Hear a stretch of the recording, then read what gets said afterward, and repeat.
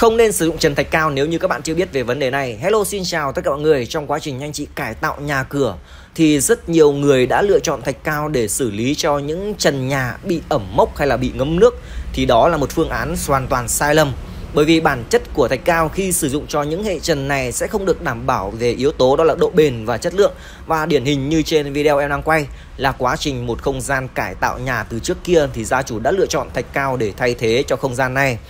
Uh, nhưng với một cái hiện tượng đó là bị ngấm nước từ trên bên trên xuống nên à, lâu ngày thì đã ngấm xuống vào thạch cao và đã làm cho thạch cao bị sập hoàn toàn. Và mọi người thấy nhìn thấy đây những tấm thạch cao thì được bở như vữa luôn nha mọi người nhá. Đấy cầm vào thì nó rất là nhũn và đó là nguyên nhân gây sập trần thạch cao cho công trình này. Đó anh chị nhé nếu như anh chị chưa biết bản chất về trần thạch cao được ứng dụng vào đâu thì đây là một video anh chị có thể nên tham khảo để có thể áp dụng đúng với mục đích của gia đình mình. Bản chất của trần thạch cao này rất là bền nhưng phải uh, uh, sử dụng trong một điều kiện là khô ráo và không bị ngấm nước mọi người nhé Đấy, còn nếu như những sản phẩm thạch cao này mà sử dụng trong điều kiện bị ngấm nước như thế này thì nguyên nhân sập trần nó rất là cao. Chính vì vậy đây là một video anh chị nên tham khảo để có thể nhận biết được, nhìn nhận được, đánh giá được những ưu nhược điểm của sản phẩm thạch cao này mang lại để áp dụng cho không gian gia đình nhà mình một cách chính xác và mục đích và chất lượng có thể đảm bảo về yếu tố lâu dài.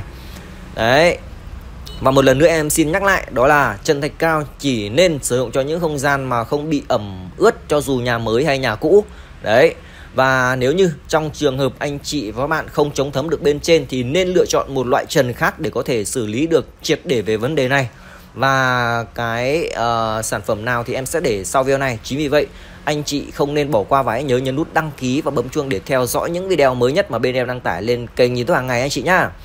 Đấy, và một hệ trần thạch cao hôm nay bên em đã đi lột bỏ để thay thế hoàn toàn bằng một hệ trần khác. Và không quên nhắc nhở chủ nhà đó là hãy nên chống thấm từ bên trên để không ảnh hưởng đến hệ xương trong quá trình anh chị các bạn sử dụng ở bên dưới. Ok và những thước phim này mà em chia sẻ thực sự hay hữu đến anh chị Thì hãy nhớ follow kênh để không bỏ lỡ bất kỳ video nào từ trang trí nữa các bạn đây nhá